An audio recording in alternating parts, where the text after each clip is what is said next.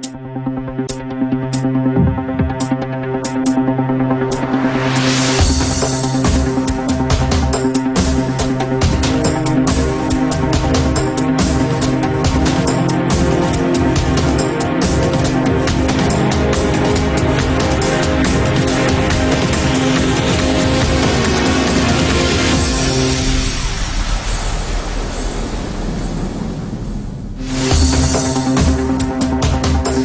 seara, dragi prieteni!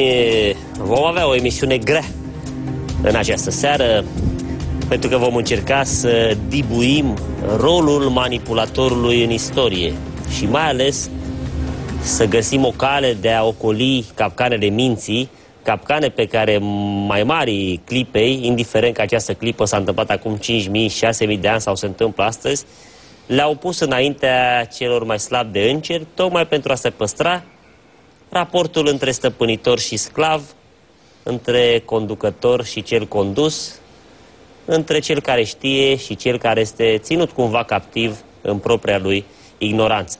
Nu puteam uh, să mă descurc de unul singur în această emisiune, așa că am apelat la un expert în comunicare, în uh, manipulare, în psihotronică și în tot felul de uh, activități sociale mai mult sau mai puțin oculte. Anatol Basara. Vă mulțumesc mult că ai revenit. Nu ne-am mai văzut de ceva vreme. Așa este. Uh, știu că te preocupă de ceva, de ceva timp uh, această tulburătoare întrebare. Oare cum de am ajuns aici, noi toți umanitatea, într-un moment atât de aproape de colaps, atât de aproape de, de, de un sfârșit? Da. Mă preocupă de o perioadă de timp uh, așa pentru mine, pentru, uh, uh, fac o cercetare în direcția respectivă um, legată despre influențele sociale, uh, puterea influențelor sociale, cum uh, uh, se exercită ele, cum influențează masele, cum le faci să creadă că acțiunile pe care, um, sau lucrurile care le se întâmplă, se întâmplă cumva firesc, și ele sunt uh, deloc firește, adică sunt conduse, sunt dirijate, sunt stăpânite din uh, totdeauna. Uh, așa a fost.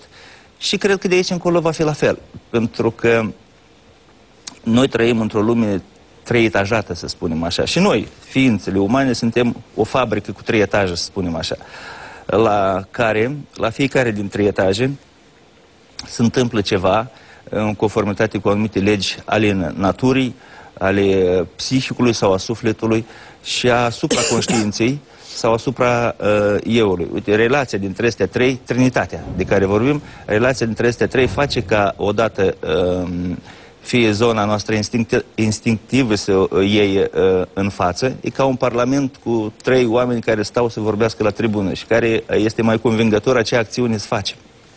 Lucrul respectiv este foarte bine studiat în, în psihologie și este aplicat la nivel de masă, pentru că ceea ce este lege pentru un individ, uh, legea am în vedere psihologică, lege statistică, este lege și pe, pentru uh, o mulțime de oameni sau pentru o societate întreagă.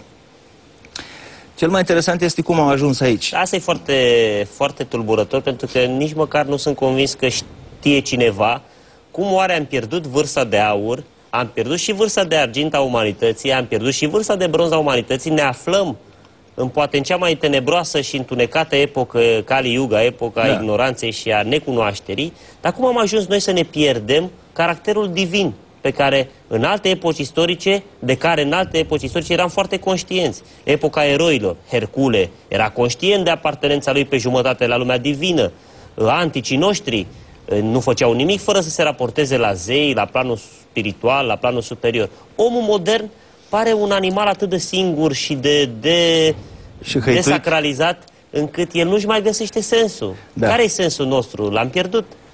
Așa este. Uh... Cum am ajuns aici, Anatol? Am ajuns destul uh, de simplu. Uh Până la un moment, uh, spunem așa, istoric, în dezvoltarea uh, umanității și a sufletului și a spiritului uh, lui, lucrurile au mers cam așa cum spui tu. Până când, odată, niște, cum spune astăzi, băieți deștepți, și-au dat seama că lucrurile pot să aibă o cu totul altă cale și o altă direcție în avantajul lor. Și așa au declanșat un proiect. Au alcătuit un proiect, până atunci deja se știa foarte bine despre, uh, uh, foarte multe lucruri despre psihicul uman, și acel proiect se numește proiectul uh, uh, uh, Egiptului uh, Antic. Cum s-a făcut lucrul respectiv? Imaginați-vă următorul lucru, pornim de la o imagine. Uh, Egiptul, o țară fâșie, râul Nil, în dreapta și în stânga râului crește ceva în zonă la câțiva kilometri, ceva verdeață există, cumva poți încă uh, trăi. Mai departe, pustiu. Oameni mulți, toți vor să fie fericiți, dar fericirea nu ajunge pentru toți, la fel cum e și astăzi. Și atunci, una dintre modalitățile de a, uh, spunem așa, supraviețui sau de a aduce uh, belșugul era războiul, cum este și astăzi pentru a echilibra sistemele. Egiptenii au încercat ei săraci să ducă câteva uh, războaie, dar le-au pierdut foarte repede. Și atunci uh, s-au gândit în felul următor. Prin puterea armelor, noi, adică egiptenii, nu putem câștiga uh, război și nu ne putem expansiona. Avem nevoie de o altă oarecare armă. Și atunci s-a declanșat acel proiect, să-l spunem așa, care până în timpurile de astăzi aproape funcționează în moduri diferite. Noi, ca civilizație umană, am trecut prin câteva proiecte, să spunem așa, globale. Astăzi, când vorbim de globalizare, de nu știu ce, astea sunt lucruri uh, aproape, spunem așa, prostiele. De mult, noi de mult ne aflăm într-un proces de globalizare, uh, încă de pe vremea Egiptului antic. Procesul de globalizare de mult este terminat. Uh, dacă astăzi cineva, chiar și politicienii aud vorbește despre ne aflăm într-un proces de globalizare, domnule, procesul de globalizare s-a terminat de mult. Uh, ne aflăm într-un proces, spunem așa, de concentrare a tuturor resurselor materiale și umane și naturale în mâna a câtorva oameni, a, unor, a unei elite, spunem așa. Atât, dar procesul de globalizare în sine de mult este terminat.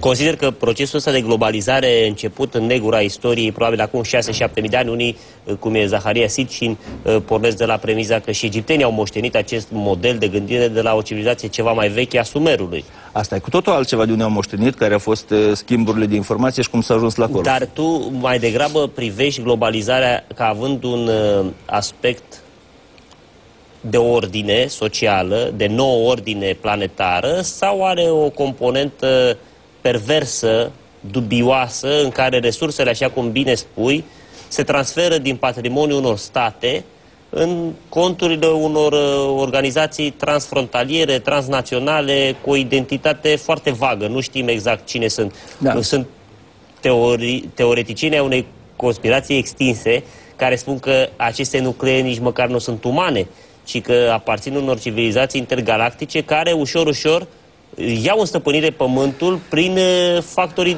lui de decizie, adică prin clasa politică. Hai să o luăm altfel. Um, la diferite nivele, fiecare uh, structură inferioară obligatoriu colaborează cu o structură superioară. De exemplu, animalele colaborează bine cu noi. Noi pentru ele suntem... Uh, o structură superioară. Structură superioară. Suntem Dumnezei.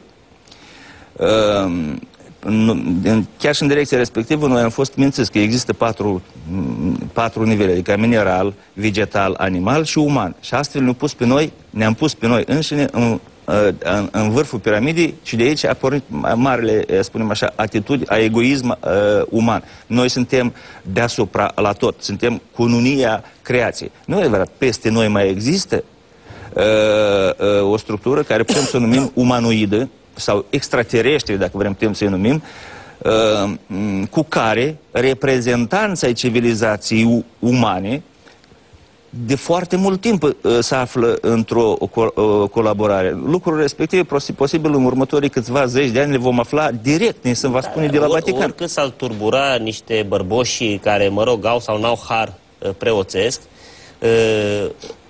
un contact între o civilizație extraterestră și una terestră există în toate cărțile sfinte moștenite pe filiația sumeriană, egipteană, iudaico-creștină. Exact. În Biblia noastră dragă nouă îi avem pe fiii cerului care, văzând că fiicele pământenilor erau frumoase, ă, comit acel păcat ă, spiritual ă, descris în Biblie, în urma căreia, căruia se naște o rasă de oameni sau de umanoizi da. gigantici. Păcatul, păcatul lor. Uh, deci noi suntem un hibrid cumva între înger și om, dacă admitem că cei fii al lui Dumnezeu erau niște îngeri căzuți în perspectiva misticii iudaice sau poate, uh, apropo de Eric von Daniken, Robert Charu, uh, Steven Zweig și alții, Zaharia Sitchin, care spun că poate erau niște extraterestri veniți dintr-o altă da, dimensiune. Da. Asta nici nu încape în discuție. Astăzi astfel de lucruri nu, nu le cunoaște sau nu vrea să le cunoască numai acel care pur și simplu nu vrea. Ele sunt foarte bine descrise de mii de ani în tot felul de literaturi, în tot felul de cărți, uh, spunem așa, sacre, de inspirație divină. Ehm, despre asta nici nu mai trebuie să vorbim. Dacă am ajuns să vorbim despre lucrurile respective astăzi ca civilizație, că e adevărat, nu fi adevărat, există conspirație mondială, nu există conspirație mondială, cine sunt, cum sunt, atunci înseamnă că, în general, trebuie să pornim de la alfabet. În, pentru a înțelege. Și aia, ne întoarcem puțin în trecut. Atunci egiptenii au înțeles că nu pot să se extindă în felul respectiv și nu pot face în așa fel încât fericirea să ajungă pentru toți. Avem nevoie de o altă uh, armă. Și atunci, era foarte simplu. Au creat o astfel de armată. L-a luat pe, un Moi, l-a luat pe Moise, că el nu era unul oricare. Era și el aproape fiul de, să spunem așa, zeu aproape. Era foarte inițiat, era un om foarte... Absolut. Așa.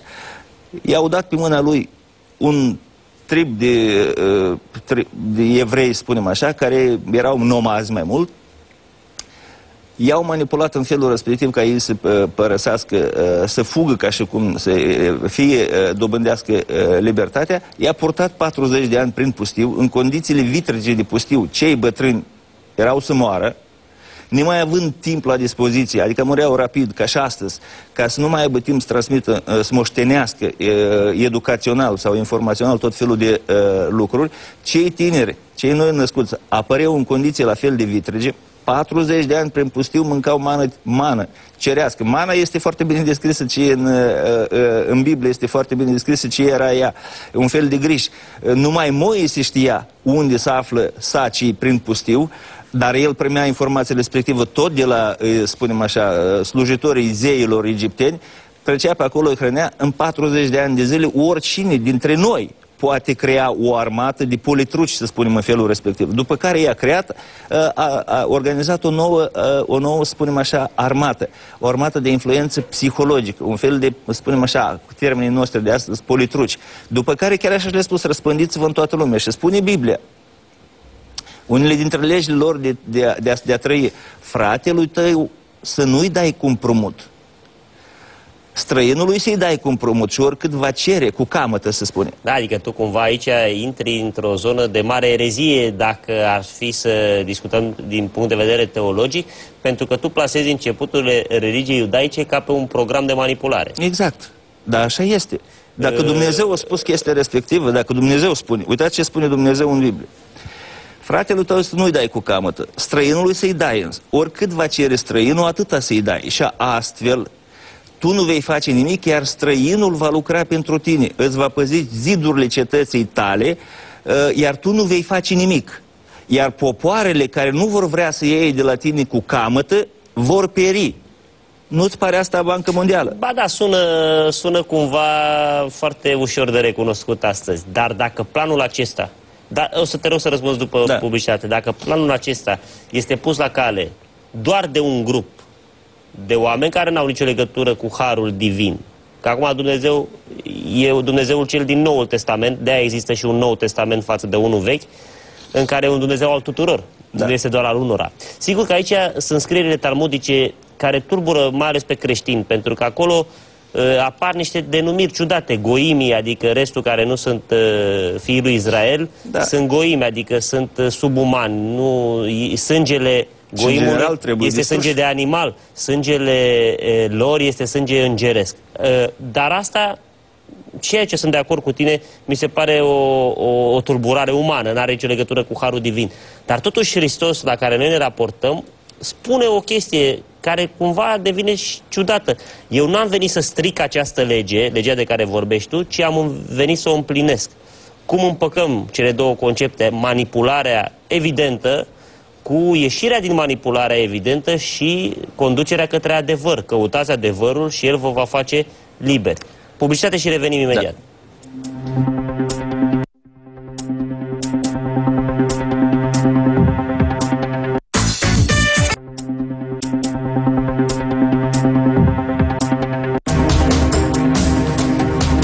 Am revenit uh, pe un uh, teren uh, cu nisipuri mișcătoare.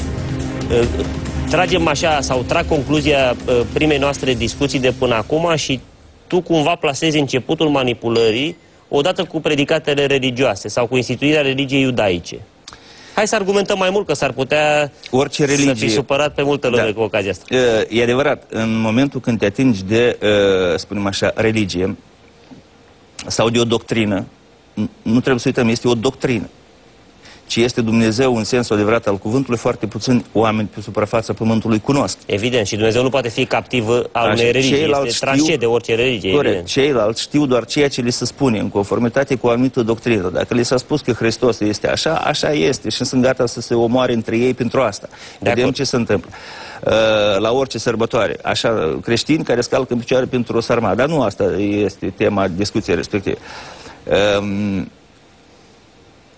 Cine poate să-mi dă mie astăzi vreo garanție, chiar spunem și vreun istorie, că însă și Biblia n-a fost făcută sau creată în forma e sa materială, în fe, sub formă de carte, ă, n-a fost făcută cu scopul de a fi un manual sau de a fi un proiect care trebuie știu urmărit pas cu pas și să se transmită prin, din veac în veac pentru cei care vin din nou și din nou la putere?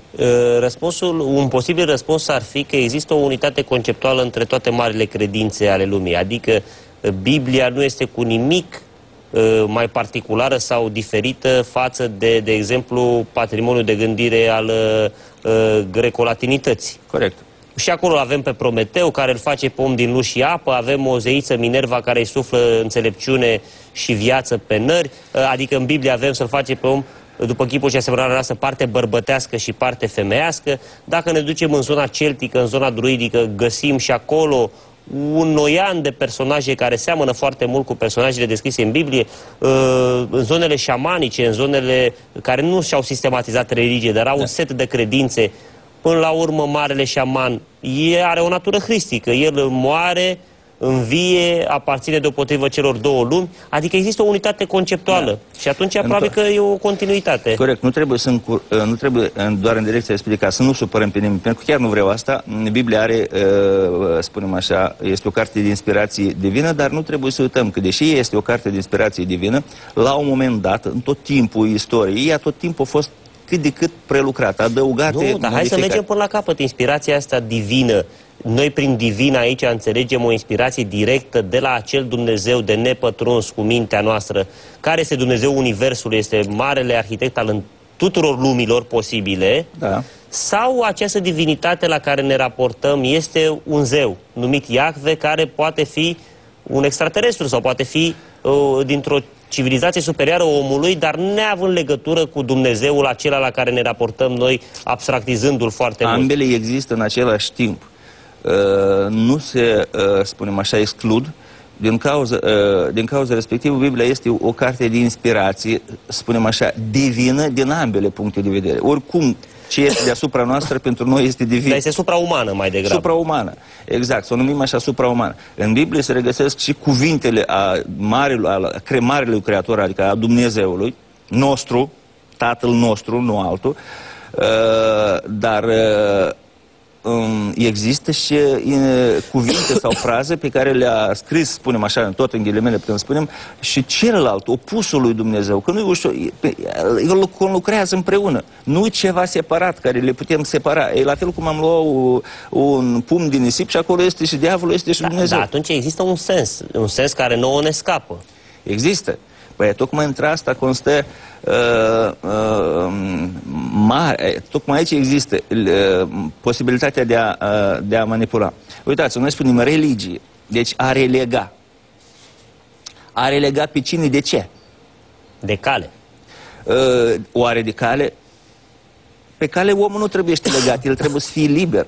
Trebuie să, condus, nu legat. Trebuie condus.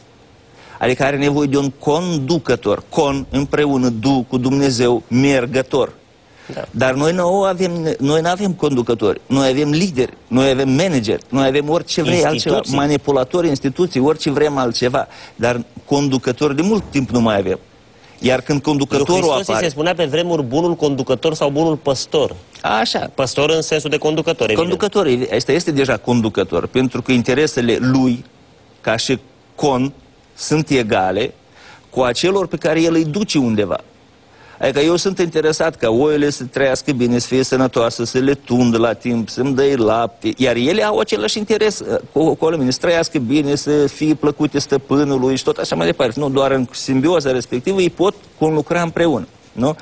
Ei, în Biblie există o mulțime de lucruri de, uh, de, de spunem așa, de mm, uh, manipulare. Astfel, civilizația umană a nimerit sub influența respectivă, adică a globalizării. Ehm, ne uităm până și astăzi în lume, de exemplu, o lege antisemită, lege, când spun există, dar nimeni nu supără când uh, nu există o lege antievreiască. Nu? Sumițe, așa și numeau tribu pe care i-au luat ei. Uh, i-a luat, i-a dezvoltat, i-a, uh, le-a dat noi învețăminte despre psihic uman, 40 de ani de zile în, în pustiu, rotindu-i. Uh, din punctul de vedere, Moise era cel mai pro, prost ghid turistic din lume. Adică el, cale de mers de câteva săptămâni, l-a făcut în 40 de ani. Ce mare treabă da, era din Egipt? Tu, tu, tu excluzi și conotația metaforică a celor 40 de ani, adică tu o iei pur și simplu ad literam, că ei chiar au stat 40 de ani acolo, sau poate... Chiar au stat 40 de ani Vezi acolo. Că și anii creației Dumnezeu a făcut în șapte zile lumea, dar tot în Biblie găsim că o zi a noastră înseamnă nu știu câte zeci de mii de ani sau milioane Am de ani în viziunea lui Dumnezeu. Am înțeles, dar atunci când se spune în Biblie, sunt, Biblia este un, și ea o carte trei etajată. Sunt unele lucruri care trebuie să le înțelegem motamo, sunt unele lucruri care trebuie să le înțelegem metaforic și sunt unele lucruri care omul obișnuit nici nu le poate măcar vreodată înțelege. Pentru că sunt la un nivel de înțelegere, eh, spunem așa... Eu am o teorie și mai cinică. Eu cred că Biblia, eh, Vechiul Testament, este foarte greu inteligibil pentru noi din cauza unor traduceri foarte proaste. Exact. Și teoria mea e foarte simplă. Limba ebraică, în momentul în care grecii s-au apucat să traducă, nu mai exista de mult, era o limbă moartă, da. se vorbea aramaica. Da. Evangheliile sunt pe înțelesul nostru și le putem înțelege cu toții, ale măcar mai, ale patru. Pentru aproape. că sunt traduse dintr-o limbă mult mai ușor de înțeles și pentru greci și pentru latin, pentru că erau contemporani cu limba respectivă. În uh, Israelul acelor vremuri, mă rog, în Palestina, că da. acum oricând nu ar conveni statului Israel să recunoască, dar înaintea lor a existat Palestina, din totdeauna acolo a fost Palestina, așa, da. așa am învățat și din istorie și din Biblie. E, acolo nu se mai vorbea, pe timpul lui Hristos nu se vorbea ebraică, foarte puțin știau ebraică, aia se scria în limba ebraică, dar era un fel de latină pentru noi astăzi, adică o limbă moartă. Da. Grecii n-au știut că și limba ebraică și limba uh, arabă, că sunt foarte asemănătoare, sunt rude cumva, uh, ca și limba chineză, ca limbile vechi, uh, sunt ideogramice, un cuvânt poate reprezenta mult mai multe sensuri. E grecul care gândește liniar, ca și noi. Nu poate să înțeleagă el care dintre sensurile cuvântului respectiv era în contextul respectiv. Și atunci el la mie îmi traduce prin niște cuvinte și astăzi eu citesc Vechiul Testament și nu înțeleg nimic. Dar eu nu cred că el a fost scris special ca să nu fie înțeles de nimeni, ci a fost tradus prost. Ăia care știu ebraică, cred că înțeleg mai bine. Sau chiar și la, a fost uh, scrisă așa cum uh, era pregătită psihicul uman la acea perioadă uh, istorică. Că drept dovadă, vedeți, zice, un, uh, un lucru foarte interesant. Când proiectul respectiv de expansiune, spunem așa, a egiptenilor, forma superioară a lor, uh, a proiectului a fost uh, realizarea, spunem așa, Imperiului Roman. Numai că la acea moment, când Imperiul Roman deja a fost uh, uh creat, uh, Eh, și cât timp el se ex, extindea, lucrurile mergeau cum, cum mergeau. La un moment dat și-a dat seama că nu mai pot să facă asta uh, continuu, adică să ducem tot timpul războaie, de cotropire, tot timpul să ne extindem. Și atunci au încetat să, să se mai extindă. Au făcut o cetate destul de mare, au făcut valuri în jurul ei și cei goi de care vorbești tu, i-au plasat în afara, în afara uh, valurilor sau în afara zidurilor. Ca ce? Ca ei să fie cei primii care vor apăra Uh, spunem așa, uh, cetatea, de cei care vin afară, de, care vor să o atace. Numai că și ăștia, din afara val, uh, cetății, la un moment dat își dau seama că ei îndeplinesc funcția de tampon și ar putea să nu mai vrea să lupte. Și la un moment dat, chiar și pe cei de afară trebuiește să-i uh, hrănești. Și atunci, s-au gândit în felul următor, domnule, psihicul uman, înțelegerea lui deja s-a modificat foarte mult. Noi mai putem pe ei influența, noi ne putem pe ei manipula. Cum facem mai departe? Că totuși trebuie să trăim, trebuie să existe. Cum, cum o ducem mai departe? Și atunci s-au gândit în felul următor. Uite, sclavul trebuie este tot timpul uh, păzit. El stă legat cu lanțuri de galera acolo, uh, ce îi spui aia trebuie să facă, cu biciu, ai nevoie de uh, supraveghetori de sclavi, ăștia trebuie plătiți, are nevoie de arme, are nevoie de cai, are... e foarte scump lucrul ăsta. Sclavul tot timpul vrea să fugă, tot timpul împotriva uh, stăpânului, uh, dacă poate îl și omoară cumva când... Cum facem lucrul respectiv? Și atunci, prin metode psihologice, s-au gândit în felul următor, foarte frumos asta să face și foarte ușor. Că am vorbit, am spus că să vorbim despre lucrul respectiv.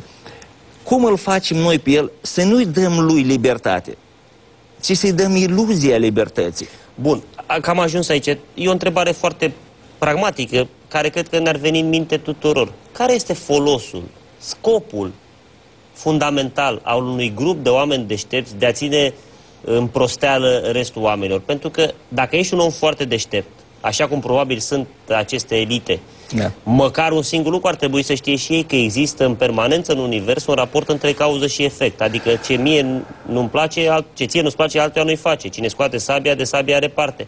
Și atunci cine ia pe alții în robie, Cine ia pe alții în robie, nu? Da. în Apocalipsa lui Ioan citim asta, cine ia pe alții în robie, de robie are parte. Da. Cine are urechi să audă, ochi să vadă și minte să priceapă că numărul 666 este un număr de oameni. Da. Ceea ce este corect. Aici Ioan îți dă dreptate cumva și spune, bă, nene, marele manipulator nici măcar nu e diavolul, sunt alți oameni.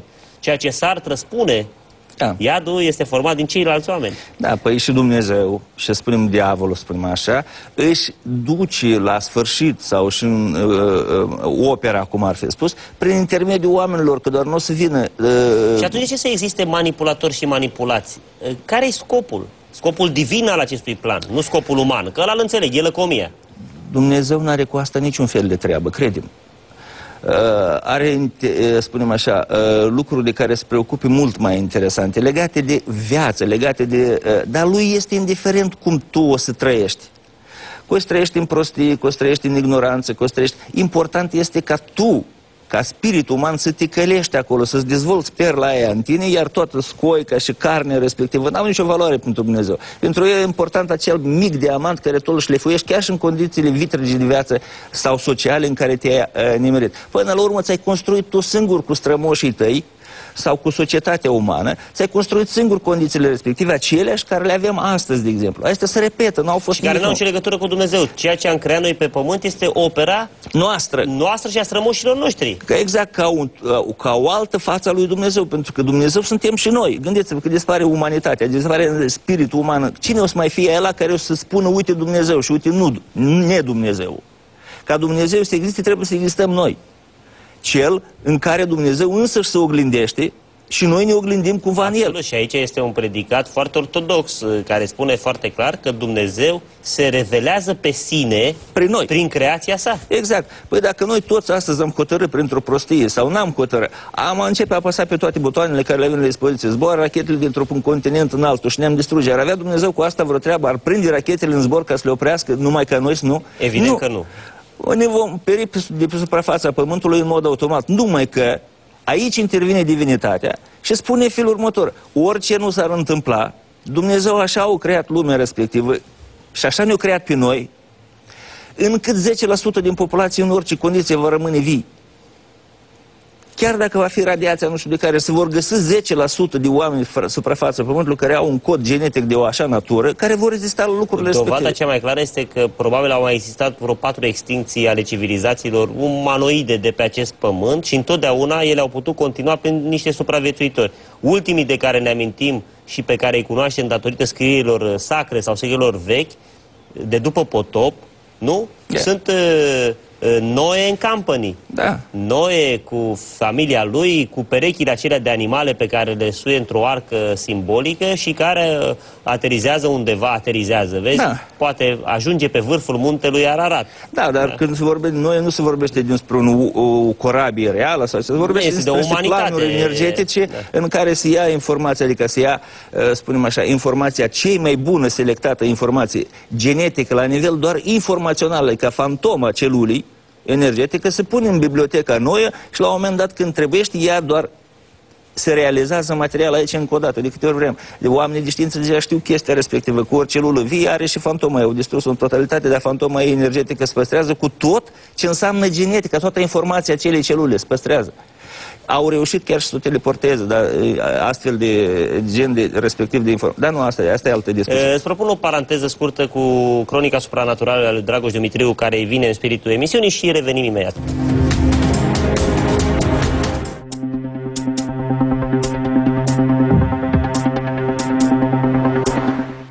Se spune că religia îl manipulează pe om.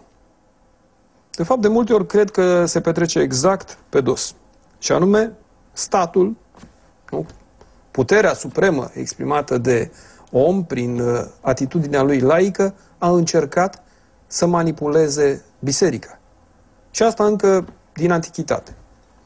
Se pune problema, deci, dacă omul a înțeles vreodată că există un Dumnezeu, cu adevărat, sau a înțeles că există o forță în care oamenii mai slabi de Duh cred și prin aceasta pot fi și manipulați.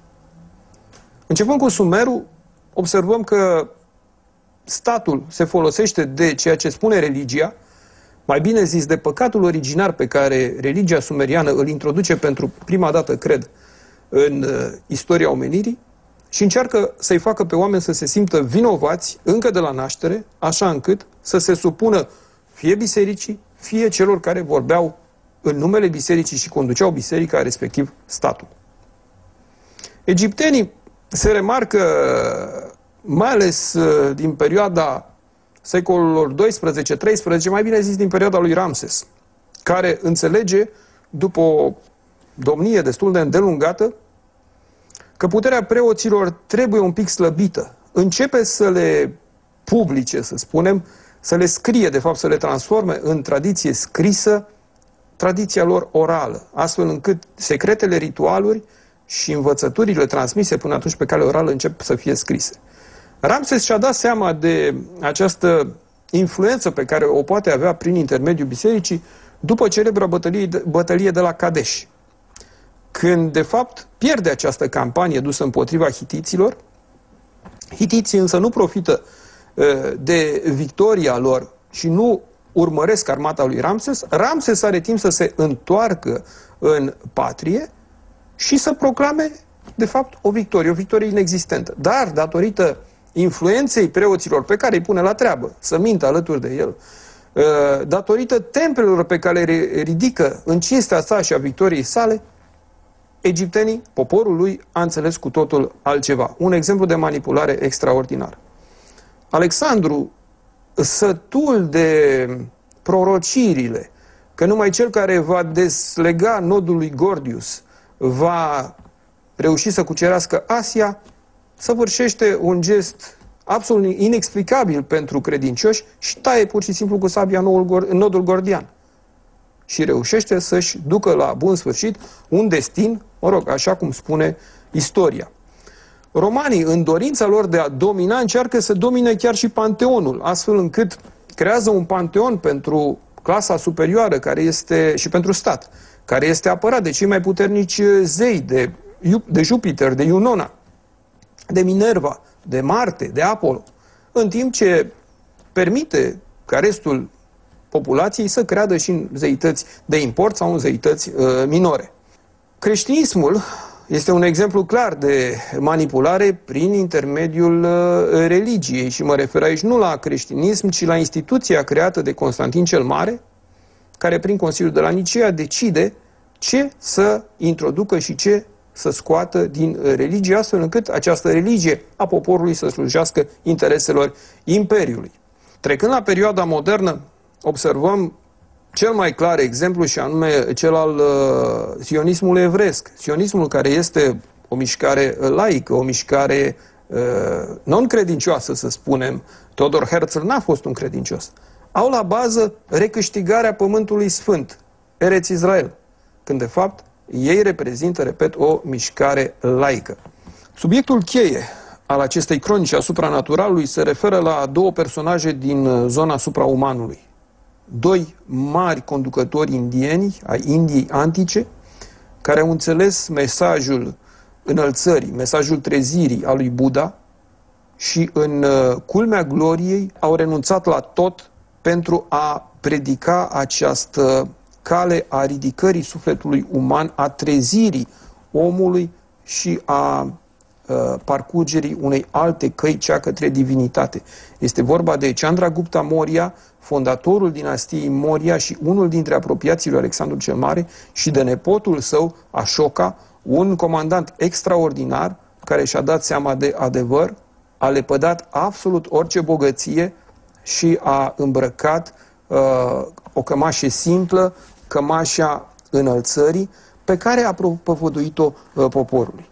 Câteodată stau și mă întreb dacă Dumnezeu a înțeles vreodată că omul totuși nu este făcut ca să înțeleagă această cale divină.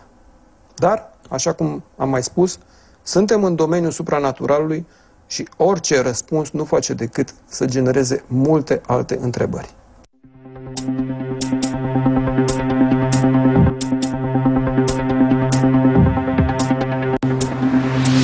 Am revenit și să nu ne depărtăm de rolul manipulatorului în istorie.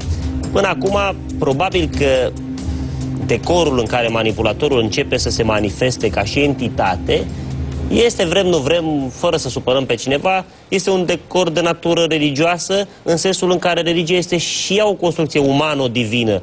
Ea este deopotrivă divină-umană, dar de multe ori este și umano-divină, că acum oamenii și-au construit înainte de a-L construi pe Dumnezeul unic, am avut o pleiadă de zei. Umanitatea s-a raportat la mai multe entități pe care le-a considerat Dumnezeu de-a lungul existenței sale. Corect. În dependență de dezvoltarea conștiinței, popoarelor și umanității la diferite faze de dezvoltare ale sale. Noi astăzi, ceea ce trăim în lume, trăim, spunem așa, uh, um, finalul proiectului biblic.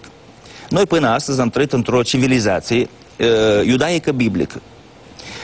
Toate, filosofia noastră, aproape, uh, vorbim de Europa, de America, toate astea, au fost uh, uh, făcute, înfăptuite după această... După acest tipar biblic tipar biblic, după această concepție, după această viziune. Da, iudeo-creștin, că aici trebuie să iudeo vorbim că este uh, iudeo-creștină și islamică, că iată că vine și islamul care și închide... islamul, exact. Păi dar acum uitați-vă, cercul. Uh, încă în timpurile uh, antice, uh, uh, romanii sau uh, Imperiul Roman, sau, cum facem ca să-l dăm sclavului totuși libertatea, dar el să nu fie liber în sensul în care el crede. El să aibă iluzia libertății. Și atunci ce au făcut? Au luat și au interiorizat niște lucruri, adică niște factori exteriori, trebuie interiorizați interiorizați în interiorul omului, să-l numim sclav, să spunem așa. Și atunci au dat instrumentele interioare, astfel biciul a trecut din mâna uh, supraveghetorului în mâna chiar însă sclavului. El însă și pe el se biciuiește în fiecare neață, trebuie să plec la serviciu, trebuie să fac bani, trebuie să-mi fac mașină, trebuie să am o vilă, trebuie să am nu știu ce. Supraveghetorul a dispărut în forma lui fizică, omul însă se supraveghează veghează ca să, uh, uh, uh, și se pedepsește sau să stimul, stimulează, adică de la bici, uh, se stimulează în fiecare zi că el să facă anumite uh, lucruri și are impresia libertății. Libertatea este un concept filosofic până în timpul de astăzi, încă noi nu știm ce, ce înseamnă libertate. Libertatea spre sau libertatea de. Sunt două forme de libertăți care o avem, în ce măsură o deținem. Eu pot, din punct de vedere psihologic, pot spune cu o fermitate foarte puternică, omul n-a fost și nici în prezent nu este liber vreodată. Uh, lucrurile astea vin încă din trecut. Gândiți-vă în felul următor, triburile, oamenii primitivi, spunem așa. Mai mult de jumătate, aproape toți bărbații pleacă la vânătoare. Femeile rămân acasă, lucrează pe ei, le îngrijesc uh, pe peștera, ce știu, copiii cresc, dar acolo în trib există un om care rămâne totdeauna cu ei acasă, șamanul. Șamanul începe să cunoască toate secretele a fiecărui a tribului. El educă copiii și are grijă de nevestele lor. Dacă nu are caracter, șamanul poate fi un mare manipulator. Păi stai așa și gândi, hai să ne gândim psihologic. El stă cu timpul, ă, odată ce înaintează, el, cu, pentru că stă acasă, el are când să mediteze, are când să, să dezvolte spiritul lui, are când să intre în contact chiar cu civilizațiile umanoide. Că e Dumnezeu, că e altceva, este ceva supra.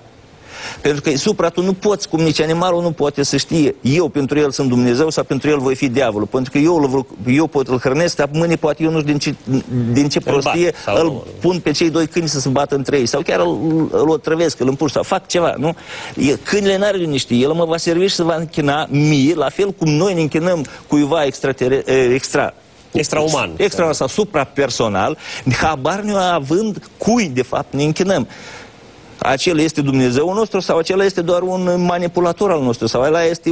Nu putem e, cunoaște e, interesele. E o mare întrebare a umanității asta. Noi nu putem cunoaște. Ei, șamanul la un moment dat are timp să cunoască. Din, are și proprii săi, săi copii. Gândiți-vă, psihologic, egoismul dintotdeauna au fost. De când Biblia spune că diavolul a coborât pe pământ... Mult a, înaintea omului. Mult înaintea omului, atunci păsările animalele, iepurile mâncau sau beau apă din același izvor. De când nu a apărut diavolul față Sau separat.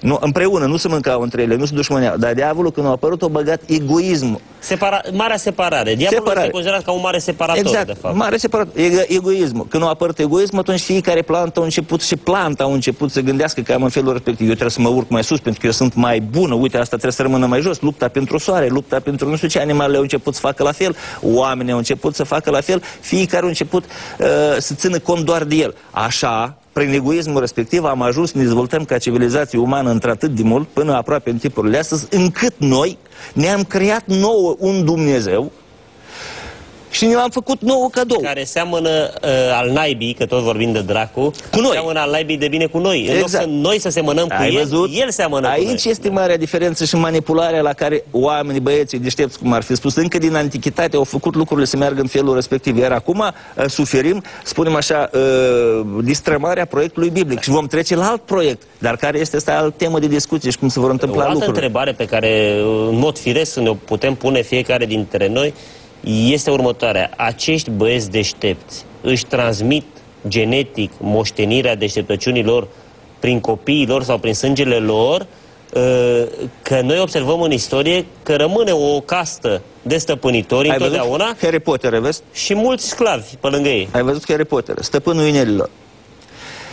Operele respective sau lucrările respective nu vin de undeva din cerul. Le sunt creația unui minți umane, nu? Da, da, se transmit îți garantez că într-un timp oricare noul proiect va semăna foarte mult cu Stăpânul Inerilor, noua Biblie, spunem așa, e, și cu Harry Potter.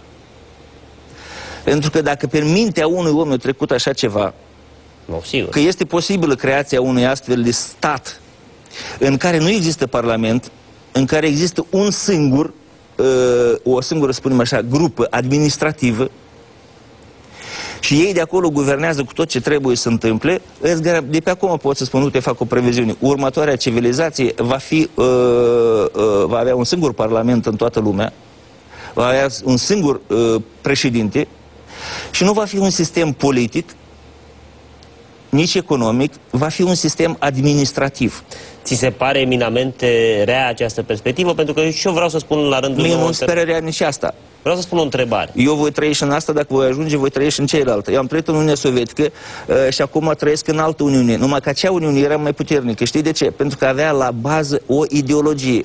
Uniunea Europeană da, nu are niciun fel de ideologie. Da, da, era puternică pentru că și impunea această ideologie Ide prin teroare. Nu contează. Ideologia comunitatea europeană sau nu are niciun fel de ideologie la bază. Și din cauza respectivă, credeți-mă, uh, și uite, de ce americanii suferă uh, înfrângere, de exemplu, oriunde? În, uh, în Vietnam, în, uh, în Afganistan. Pentru că oamenii respectivi de acolo, ei dotați militari, sunt foarte slabi, uh, uh, material, dar ei au o ideologie. Pentru, dar se raportează la un sistem de valori. Pentru o ideologie, eu pentru o idee, sunt gata să mor. Eu pot lupta pentru bani, dar să mori pentru bani da, e asta, greu. Asta a spus și Ho Chi Minh, le-a spus-o generalilor americani, voi puteți să veniți, dar nu o să ne învingeți niciodată pentru că nouă nu ne este frică de moarte. Și dacă nu ne este frică de moarte, ce să ne puteți lua? Așa sunt, exact, așa s-a întâmplat și în al doilea război. Dar eu vreau să spun o întrebare care pe mine mă, mă, mă preocupă. Da. Este evident că evoluăm. Este evident că la un moment dat vom constata cu toții că nu suntem singura planetă cu civilizație inteligentă din univers și că probabil mai sunt și multe altele. Asta e cunoscut de foarte mult timp, numai că nou oficial ne se va spune lucrurile este în următorii vreo 5-7 ani de zile. Eu privesc și un uh, aspect pozitiv al globalizării cu un singur amendament, ca ea trebuie să se facă uh, pe conceptul unitate în diversitate. Dar cred că umanitatea trebuie reprezentată unitar Adică eu spun o întrebare. Dacă, să zicem, în următorii 10 ani suntem puși în situația să ne întâlnim cu o civilizație intergalactică, da. pe umanitate, cine o reprezintă dacă umanitatea nu este condusă de o singură entitate. Pentru că așa America e un tipar, Rusia e un tipar, China e un tipar, Uniunea Europeană e alt tipar, Islamul e alt tipar. Sunt foarte multe umanități uh, pe stadii diferite de evoluție și la un moment dat, dacă să zicem o civilizație extraterestră va dori să ia contact cu umanitatea, cine e umanitatea? America, Rusia, China, Dar de ce Uniunea trebuie Europeană? să împărțim? Aveți iarăși. Hai să luăm uh, precum sus așa jos, după legea respectivă. Luăm o lege fundamentală, gândim în, cu- în, în raport cu ea și atunci nu vom greși niciodată. Uh, să presupunem că la noi, în organismul nostru, intervine între un microb sau un virus. Da, da, noi avem un singur creier care coordonează tot, toate celelalte organe. Dacă creierul este independent, Nu este inco- interconectat cu celelalte creiere. Ați văzut? Și atunci, o civilizație oricare extraterestră, de exemplu, dacă vine ea, credeți că ea po- este deconectată de toate celelalte uh, uh, sisteme, sau spunem așa, civilizații, face totul ce vrea ea de capul ei? Nu, dar uite, vezi, dacă China ar vrea să zicem, domnule, noi ne îndreptăm către, noi vrem ca umanitatea să arate așa. Acum, modelul nazist a vrut o- un anume tip de Nu, umanitate. înțeleg, înțeleg. Comunismul alt model de umanitate, catolicismul alt model de umanitate, Da. ortodoxia are altă viziune asupra umanității, budismul are altă viziune asupra umanității. Uneori astea se bat cap în cap, Dar dar nici- toate astea nu sunt cumva iluziile aceleiași umanități, că acum noi, că tu Exact. ești alb și eu sunt negru, nu tot oameni suntem. Aceleași iluzii sunt. Trăim mai departe în lumea iluziilor, lumea Maia. Ai spus așa, noi dorim ca umanitatea. Care noi? Adică tu, eu, ei, operatorii, oamenii din oraș, ei, ei nu pot să dorească nimic. Pentru că ați dori înseamnă a trece imediat la aplicarea voinței, pentru că acea dorință ta Da, să îți devină manifesta voință. intenția și ți-o pune în practică. Exact. Ai- Care dintre noi poate în general face ceva? Uite, uitați un un oraș, apare o demonstrație. Un număr de bucureșteni demonstrează, ceilalți îi privesc. Care noi? Dar aici e libertatea fiecăruia de a alege să fie pasiv sau activ. Întrebarea numărul 2.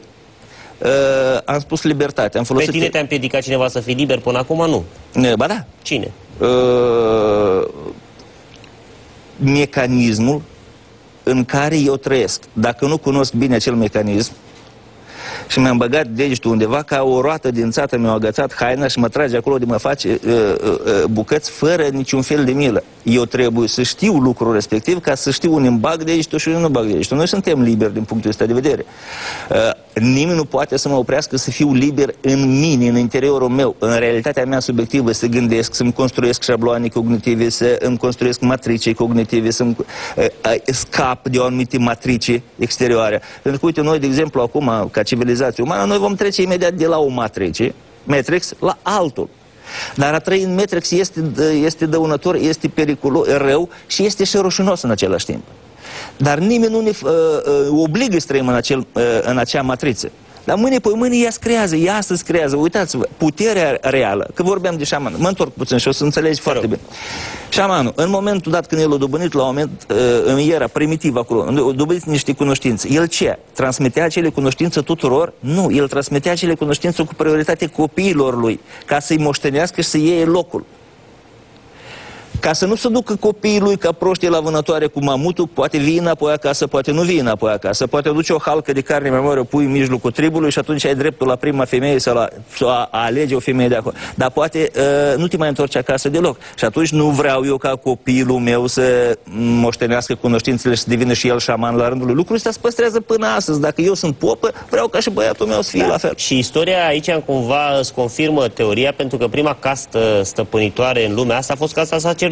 Ați văzut? Mai departe. Șamanii, între ei, la un moment dat, când existau triburile și ei credeau că există numai ei pe suprafața pământului, iar pe urmă, prin ex- expansiune teritorială, dar și psihică, sau spunem așa, socială, ei au aflat că mai există alte triburi. S-au început uniunea triburilor, astfel încât să formeze Da, triburi e mai încep- mari. Începutul globalizării. Începutul deja a globalizării, ai văzut?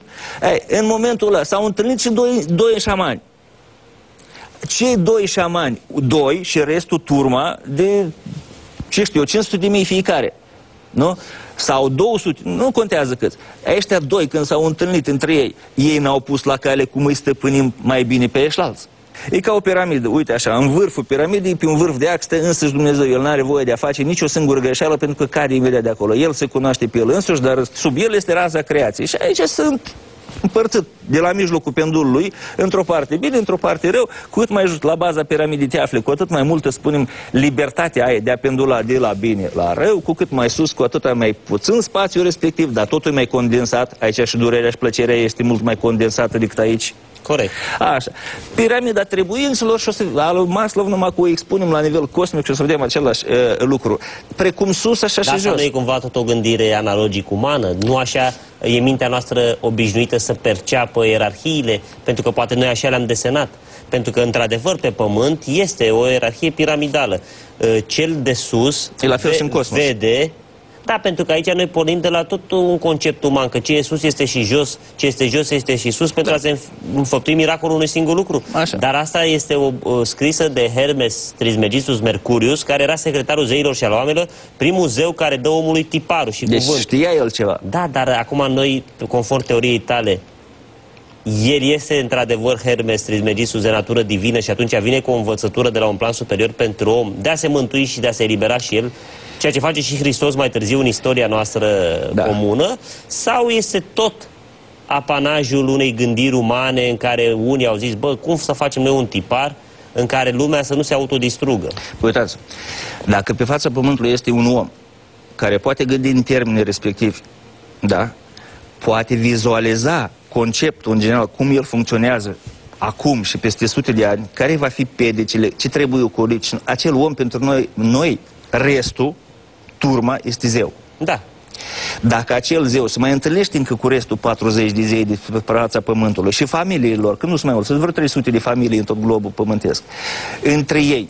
Și gândesc în termeni globali, Adică noi gândim tot, vedem tot timpul ce se întâmplă pe în Dar jurul noi suntem picioarelor. atât de preocupați să, uh, de ce punem pe masa a doua zi, încât noi nu ne mai gândim la rostul nostru fundamental, de unde venim, cine suntem și încotro ne-om îndreptat și după moarte. Că Ok, acum... și avem și noi micile noastre bucurii de a câștiga o partidă de, de șah sau de nu știu ce acolo. Dar dacă ei au, pe, au uh, uh, jocul lor de șah, e general planeta.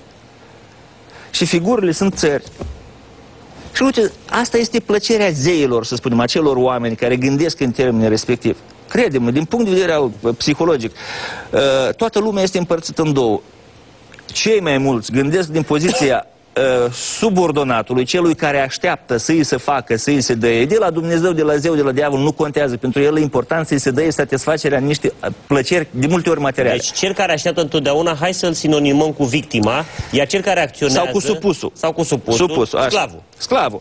Păi sclavul, vizo, mentalitatea, lumea din poziția sclavului se vede cu totul altfel decât cum se vede lumea din poziția zeului sau celor Dar care nu angajează. cumva sclavul alege și consimte el de bunăvoie să fie sclav? Nu. Pentru că în momentul în care un sclav Nu alege. cum a fost Spartacus, de exemplu, a zis, bă, dar eu nu mă mai satisface pe mine statutul de sclav. Da. Și nu numai că s-a eliberat, dar i-a eliberat pe toți și aproape că a dus la o revoltă în Imperiul Roman. Da.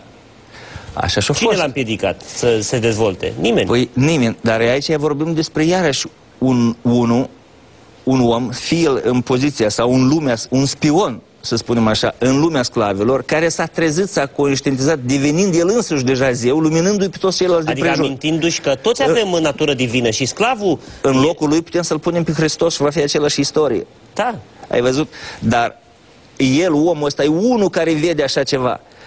Are nevoie de foarte mult timp. 2000 de ani au trecut de la Hristos până acum și încă nu cunosc oamenii conceptele adevărate ale Hristos. Nu. Nu se raportează la Hristos ca la marele lor învățător, ci ca la ceva așa divin, abstract, ca la ceva așa, o spus, o fost, o fi fost, nu o fi fost. Corect, ai perfectă dreptate. Ai da. văzut? Și atunci despre ce vorbim? Că atunci când vorbim despre psihologie sau Da, despre dar, psihosociologie. e, Aici să știi că e, te suprapui cumva și peste o, un gând de-al meu care împarte Sigur, într-un mod cât se poate, de arbitrar până la urmă, că orice împărțeală e o, Da. orice generalizare, orice împărțeală e un abuz, de fapt, că nu avem de unde să știm. Dar, mă rog, așa funcționează mintea noastră destul de dual și analogic. Eu cred că există două categorii mari de oameni. Oamenii care cred în uh, preexistența sufletului înaintea materiei și în spirala evoluției permanente... Chiar și gândirea respectivă o ai tot din cauza că așa ai fost format sub presiunea influențelor sociale, materialismul și idealismul. Absolut. Lupta de ei da. există totdeauna. Dar există o categorie mare de oameni care crede în transmigrarea sufletească la nesfârșit. Și nici unii și nici alții n-au dreptate. Dar alții cred că nu există nimic după moarte și că toată șmechereala și puterea și privilegiile și dominarea sunt, se întâmplă de-a lungul acestei vieți. Corect. Când mor eu, se naște este... copilul meu și transfer lui toată averea da. și puterea ca Corect. el la rândul lui să o transfere din Dar asta este iarăși rezultatul unei presiuni, chiar forma asta cognitivă, adică șablonul respectiv de a gândi, uh, el vine tot dintr-o manipulare istorică. Gândiți-vă, în perioada aia uh, istorică. Uh, sclavă, tu uite, trebuie să muncești, asta este viața ta, e chinuitoare într-adevăr, înțelegi, dar uh, asta este viața aici pe pământ, dar trebuie să fii ascultător, să nu ești de sub legea, uh, legea sau legea lui Dumnezeu pe care eu am creat-o și le-am dat-o lor, inclusiv prin Biblie. Da, da, e o lege justă. E justă. Păi pentru mine e foarte justă, pentru, dacă eu sunt zeu. El trebuie să asculte, să-mi facă lucruri cu plăcere, să muncească cu cântec la mine pe plantație, să nu trebuiască să-l păzesc, da, da, să vină singur da. să-mi ceară. Ce spui tu, asta ar presupune că în mintea lui omul care se crede zeu, se crede și nemuritor, numai că și el moare. Mm. Adică moare și corpul lui. Moare. Nu? Dar pe el nu-l interesează faptul ăsta că el moare. El se crede, el se crede, dar poate chiar este. De ce spunem să crede? Adică de ce eu mă cred mai inteligent decât el, dacă chiar sunt? Și dacă văd că îl pot mângâia de două ori pe cap și el, el îmi va, ce știu, va face curat prin curtea mea, în loc să o fac eu. Egoismul în mine există. Și atunci eu vă spun, domnule, al mângâi pe ăsta pe cap, îi spun și o poezie, dacă trebuie, spun ceva despre ceruri. Uh, uh, tu muncești aici, chinuiește-te, că viața e dincolo, păi, raiul e acolo, păi, te așteaptă. Păi, dacă nu vei mai asculta, va fi iadul dincolo. Și atunci, asta nu e o formă de manipulare. Ba este. Ai văzut? Și se potrivește foarte mult cu modelul zeilor din antichitate. Da, asta este Zeii aveau niște pasiuni foarte umane, dacă să, să ne gândim. Da. Adică Zeus vrea să mănânce. Da. Era fomiță. Da. Ceea ce înseamnă că preoții care îl slujeau pe Zeus mâncau ei, că doar nu se materializa acum da. Dumnezeu sau o entitate non-materială să mănânce bivol păi da. sau taur. Păi da, aduți aminte, când uh, zei... Sacrificiul pentru zei este tot un sacrificiu pentru bunăstarea preoțească. Păi da, Atacului de manipulatori. Exact, pentru o castă. Și atunci gândește în felul că țin minte, într-o, în, zeii se intră într-un conflict cu druizii, cu preoțimea sfântă. Și preoțimea sfântă, druizii chiar așa spune, lasă domnule pe zei într-o parte că nu el hotărăște când să apară să dispară soarele. El, uh, noi, druizii, facem asta și îi spunem lui. Uh, Gândiți-vă, pe vremea respectivă apare zeu pe frantonul căsii sau pe uh, acoperiș și le spune tuturor mulțimii, dacă nu vă veți asculta, dacă veți ieși de sub porunca mea, care nu este a mea, de fapt, este a lui Dumnezeu, de fapt, este a mea din cap până în picioare, dar eu trebuie să dau și eu vina, pentru că există principiul psihologic. O vorbă, o atitudine este mult mai bine acceptată dacă nu vine de la tine, ci de la cineva superior ție. Dacă Absolut. eu spun acum un lucru care cât de inteligent n-ar fi, aia lasă, domn, dar dacă spun că asta o spus deja cineva înaintea mea și acel cineva este, ce știu, Eminescu... Cel mai puternic dintre noi. De exemplu, da, cineva mai puternic dintre noi, uh, deja este acceptată ideea respectivă și îngurgitată și asimilată mult mai repede. Nu provoacă indigestie. Asta să știi că o spune un lamas uh, tibetan, îmi scapă numele că sunt greu multe, prea multe consoane, care spune așa, domne, eu dacă aș veni să propovăduiesc învățătura budistă îmbrăcat în blugi și în tricou, nu m-ar asculta decât maxim 2-3 care ar rezona la cuvintele mele. Dar dacă eu mi-au roba mea portocalie, mi-au și ragul de mătănii, da. ras în cap așa și încep să fac și un soi de ritual în timp ce vorbesc, mult mai multă lume va fi din toată interesată, nu de ceea ce spun, ci de felul în care arăt. Ai văzut? Uite, asta înseamnă crearea contextului, adică pentru ca ceva să se întâmple pe suprafața Pământului, fie la nivel de un individ sau la nivel de societate umană, așa, e nevoie să creezi acele condiții necesare și suficiente pentru ca acel lucru să producă. Dacă eu știu care sunt acele condiții necesare și suficiente, parte din ele sunt pur psihologice, sau să numim spirituale, atunci acel lucru cu inevitabilitate se va produce.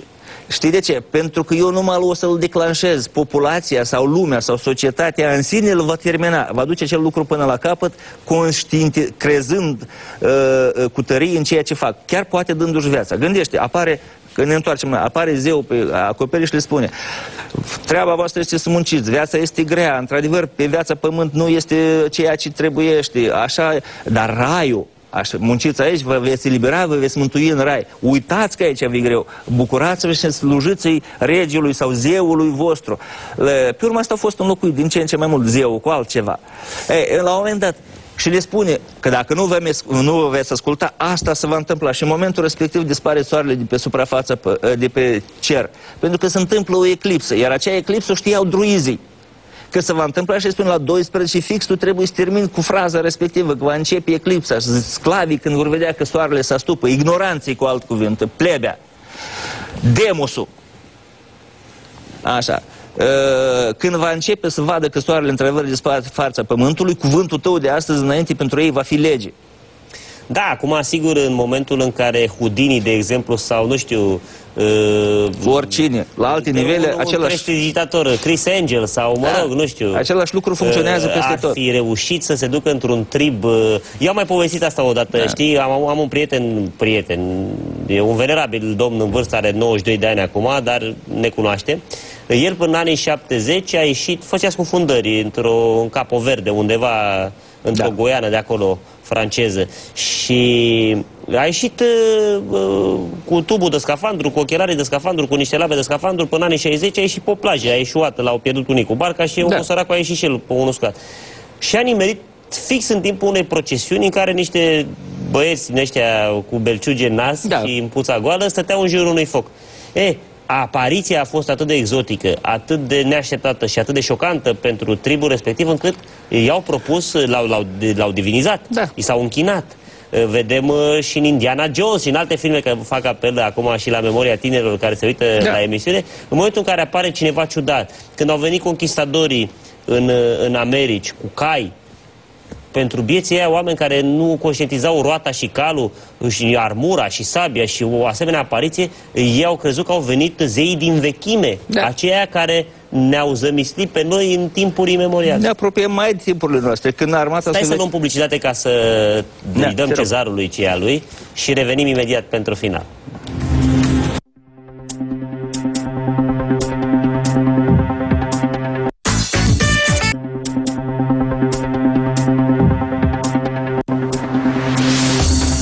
Am revenit, Anatol, iartă-mă, te întrerupsesem. Să revenim la timpurile noastre. În oglindă, parcă sunt timpurile noastre cu toate timpurile. Nimic nu o sub soare, plictiseala plictiselelor. N-am spus-o eu. Da? E, am doar repet, repetat. Avantajul meu este că știu fraza respectivă și cunosc semnificația. Dar, bun, astăzi, ce se întâmplă? Am spus de întotdeauna, puterea totdeauna se află, puterea reală se află uh, totdeauna în spate, în umbră, după culisă. Aici se află numai actorii actorii pot juca orice le spune e, și orice le face și independență de cât de bine sunt plătiți, orice rol. Adică oricine dintre noi poate asuma rolul de, ce știu eu, călău sau curvă, numai dacă este bine plătit pe scena respectivă, scena, scena socială, chiar așa și nume, scena politică, scena economică, teatrul operațiunilor militare, tot așa mai departe, da? E un teatru. De o scenă, totul, o scenă. totul se desfășoară pe o scenă, pe o scenă care presupune și niște spectatori. Orice care... scenă presupune niște spectatori. Spectatori sunt totdeauna suficienți de mulți. Uh, uitați, în țara, uh, ne uităm la televizor sau unde vrem noi, o să vedem că în toată România sunt 20 de actori care îi arată tot timpul la televizor și restul suntem spectatori, pierdem timpul în fața televizorului, uh, urmărind ce chiloțăraie sau, sau lengerie intimă și-a mai cumpărat nu știu cine dintre ei, cine cu cine s-au mai iubit. Lucru care nu ne ajută deloc să trăim mai bine. Dar totuși, oamenii, ă, există astăzi o tendință foarte puternică în lume. Oamenii, nu numai din la noi din România, din America, din altă din ce în ce mai mult încep să meargă, mai puțin să meargă la vot. De ce? Pentru că oamenii, chiar dacă nu înțeleg, ei încep să conștientizeze că nu politicul este cel uh, care le influențează viața lor reală, ci o altă putere care se află undeva în, uh, în spate. Din ca, dar chiar și politicienii, nu ați observat politicul, devine din ce în ce mai mult uh, nu, politicul, adică sistemul politic care ar trebui să gestioneze relația dintre diferite forțe sociale, economice, de altă natură, iar nu mai face lucrul respectiv. E se transformă în tot o altă sferă. Se transformă într-o sferă de administrație, foarte apropiat de Harry Potter. Din cauza respectivă, că nu aparține puterea cu, adev cu adevărat, ea începe să devină din ce în ce o sferă mai eh, administrativă cu multe elemente de show business.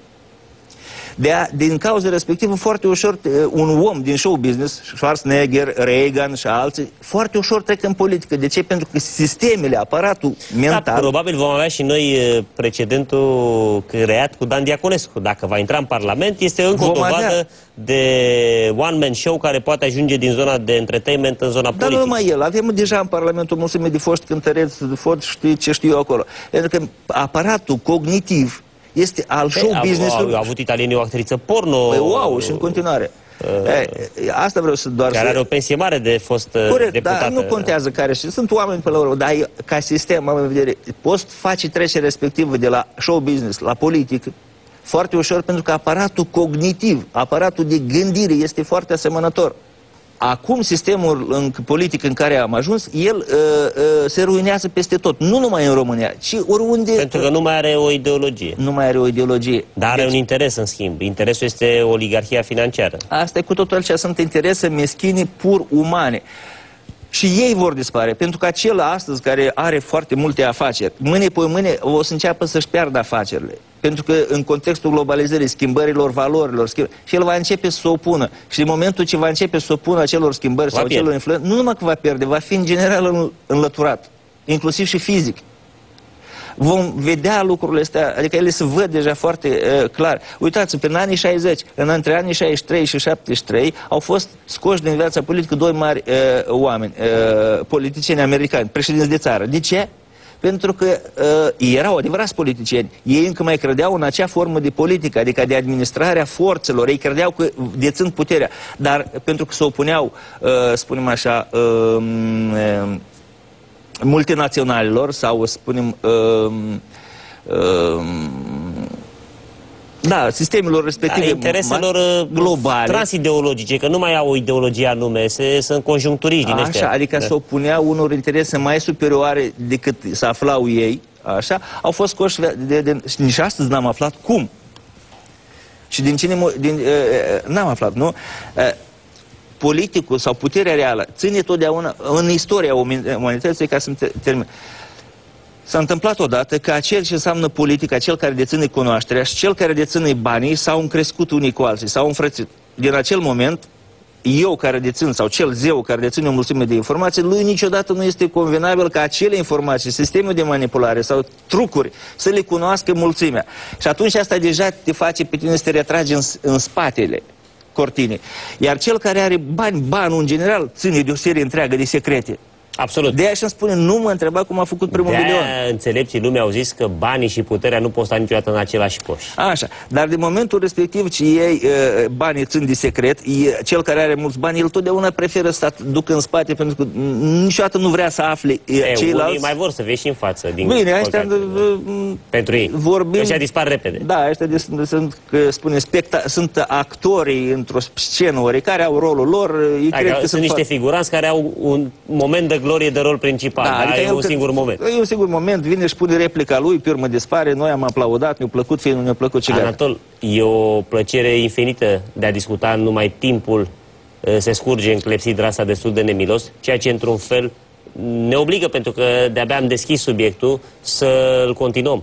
Și eu te rog să nu mai treacă chiar atât de mult timp până să ne vedem data viitoare și poate peste o lună să continuăm această dezbatere pe care am început-o acum pentru că e foarte interesantă și abia, abia acum ce am spart gheața.